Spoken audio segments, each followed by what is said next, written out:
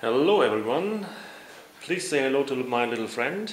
It's actually a two-cylinder slow rotating Stirling engine I made out of scrap material like tins and brass material I'll weld it on on the tins these uh, blue ones here you can see are the thumbs of rubber gloves and the flywheel is actually an old record.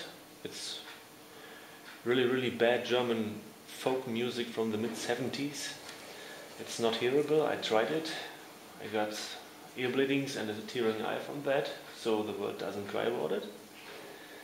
Many thanks to Myfordboy, great channel, uh, for his advice and for his great techniques. The motor works pretty well.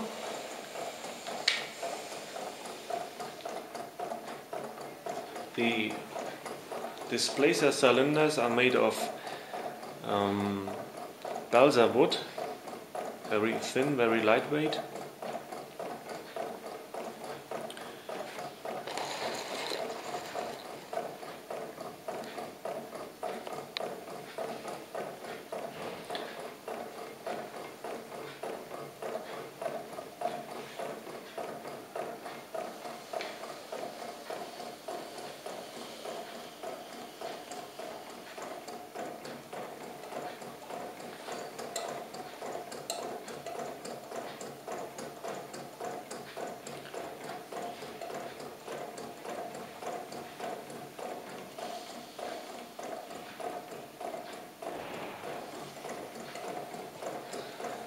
So that is my newest invention. Hope you like it.